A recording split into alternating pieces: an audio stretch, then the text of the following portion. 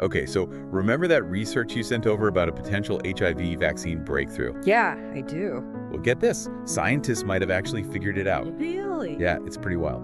So let's deep dive into this press release from the Fred Hutchinson Cancer Center, and I think you'll see why I'm so excited. Okay, yeah, let's do it.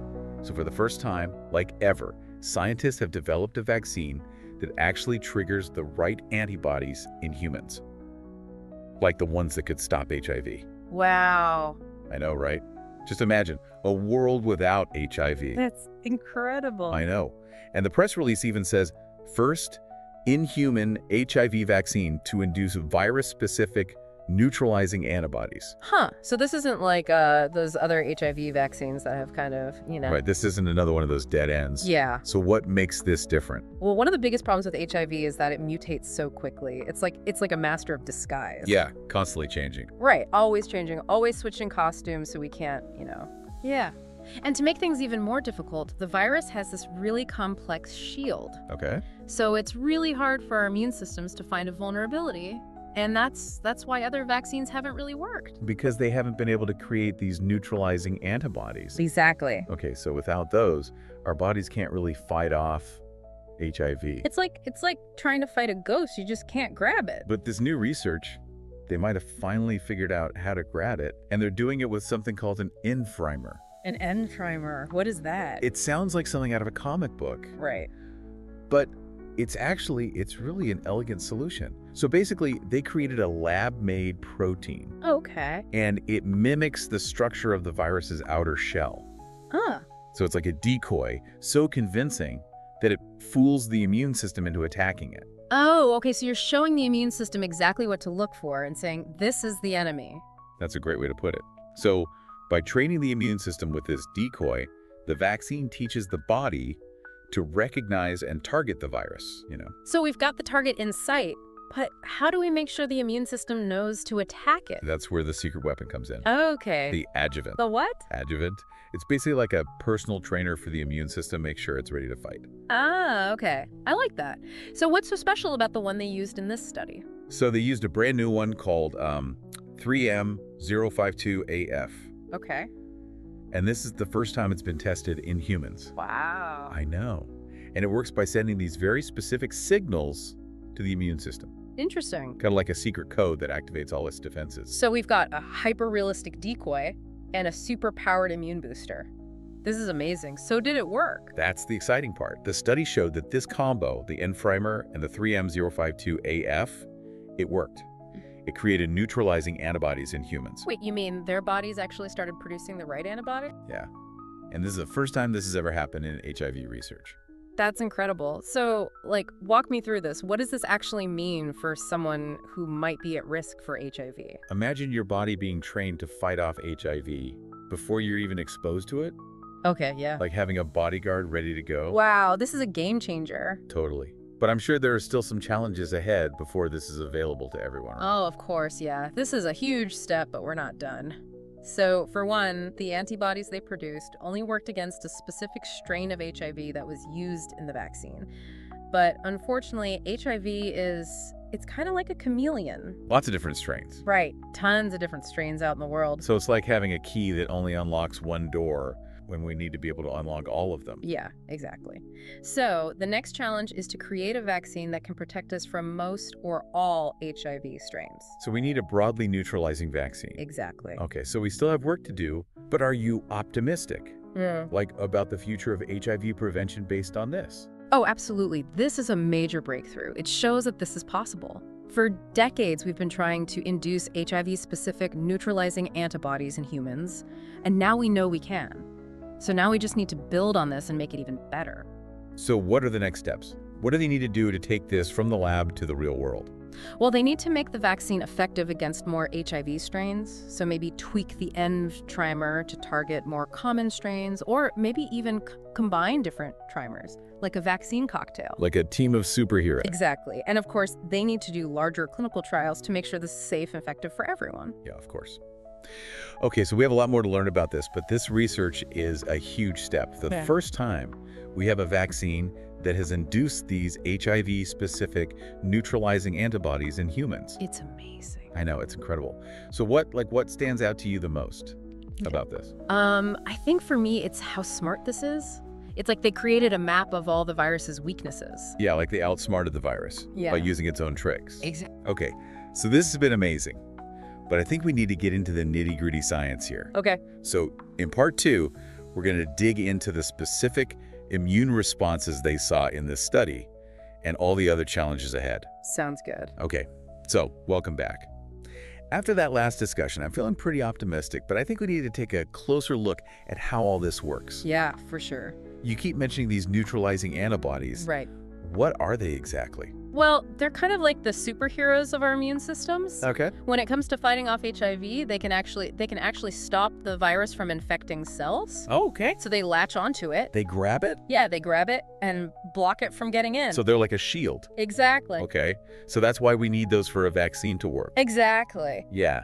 But I'm still not sure I understand how this new vaccine actually does that. Right. So remember those N trimers? The decoys. Yeah. Those are the key to this whole thing. Okay, remind me, how do they work? So imagine they're like target practice for the immune system. Okay. They're showing the body what HIV looks like and training it to attack it. Oh, interesting. So it's like it's like boot camp for our immune systems. That's a great way to put it. They're like the blueprint, teaching the body what to attack. And then the adjuvant comes in to make sure it's paying attention. Exactly, yeah. The adjuvant is like the drill sergeant, Okay, I like that. making sure that it's producing those antibodies. So in the press release, I noticed they tested two different doses of the adjuvant. Why did they do that? Well, they actually found that the dosage is really important. Okay. Like, if the dose is too low, the immune system won't produce the neutralizing antibodies. So it's like it sees the target, but can't hit it. exactly, yeah. But with the higher dose. then it works perfectly. The immune system is able to attack. Interesting. How do scientists even measure these antibodies? How do they know they're working? Oh, that's a great question. They actually do these really cool lab tests. Okay. So they take a blood sample from from a vaccinated person Okay. and they expose it to HIV. Oh, wow. Yeah, and then they just watch what happens. Like, do the antibodies fight it off? So they're basically doing like a simulation Exactly, yeah. in a petri dish. Yeah, they're simulating what would happen in the body. That's awesome. Yeah, And it worked. it did, yeah. Yeah. That's why this is so exciting. We've never been able to do this before. It really shows the potential of this kind of vaccine. Okay, but I know you you always want to be cautious. Yeah. So what are the caveats here?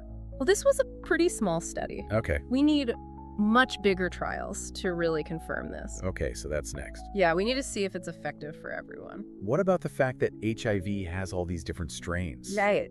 How do we overcome that? Yeah, that's a big challenge.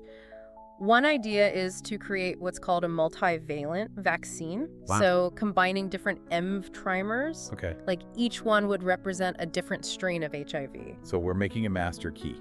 Yeah, exactly. So that the antibodies could recognize a bunch of different variations. Wow, that sounds complicated. Yeah. Okay, so we talked about neutralizing antibodies, we talked about the trimers, the adjuvant, the fact that we need bigger trials, Yeah. and we need to make sure it covers multiple strains. Anything else we should be thinking about here? Um, one more thing durability. What's that? We know that it created those antibodies, but we need to see how long they'll last. Oh, what? We want to make sure we get long term immunity, maybe with a booster every now and then. So not just that they work, but they keep working. Exactly. So we need to do long-term studies. Yeah. Okay, well, this has been a lot. A lot of science. Yes, yeah. But this is a huge step in fighting HIV. Hmm. But beyond that, I want to talk about the bigger picture. What does this mean for the world if we can actually create an HIV vaccine? Okay, welcome back. So we've spent a lot of time geeking out about the science. Yeah, we have. But I kind of want to shift gears a bit now. You know, a discovery like this, it's not just about the science, it's about people. Imagine, like, if we actually had a vaccine that worked, Yeah. the impact it would have. So I kind of want to zoom out and talk big picture for a minute. Okay. So one thing that comes to mind is the stigma around HIV. You know, it's been such a problem for so long. Yeah. So if we actually have a vaccine that works, how do you think that changes things? Well, that's a big question. I mean, stigma is really hard to get rid of, it's rooted in fear. And a vaccine doesn't automatically erase that. No, it takes time. Yeah. But I do think it would be a huge step. You know, if we can reduce the threat of transmission, it should help with some of that fear. So it's like kind of removing the fuel from the fire. Yeah, that's a good way to put it. And maybe then we can start having better conversations about HIV. More open conversations. Yeah, exactly. And a vaccine would show everyone that this is preventable. It kind of changes the whole perspective. Yeah, it's not about blame anymore. Right. It's about fighting a virus together.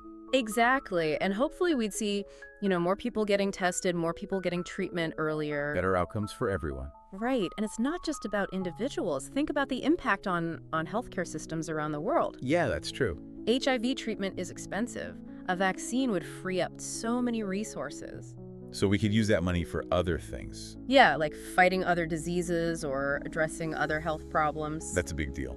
But I imagine it won't be easy. You know, a global vaccination program, that takes a lot of work. Oh, yeah. To make sure everyone has access no matter who they are or where they live. That's tough. Yeah. It's a huge undertaking. And we need to start thinking about this now. You know, how, how do we do this fairly? How do we make sure it reaches the people who need it most? It's like we solve one problem and a new one pops up. Exactly. So we can't just expect that the science is enough. We need everyone involved to make it work. Yeah, it's going to take all of us. Well, I have to say, after learning about all this, I'm really excited, Yeah. but also a little overwhelmed, you know? Uh, yeah. It feels like we're on the edge of something really big. We are. And it's up to all of us to make sure we do it right. So, what do you think is the most important thing we need to do next? I think I think we just need to keep talking about it. you know? Yeah. With everyone. Yeah. Scientists, politicians, communities. We need to figure out what an HIV-free world looks like and how we get there. Together. Yeah. This isn't just about science, it's about all of us. Well, this has been an amazing conversation. I feel like we've covered so much. And even though there's still a lot of work ahead, the future looks pretty bright. It does. Thanks for joining me on this deep dive. And for everyone listening, thanks for being here. Until next time, stay curious.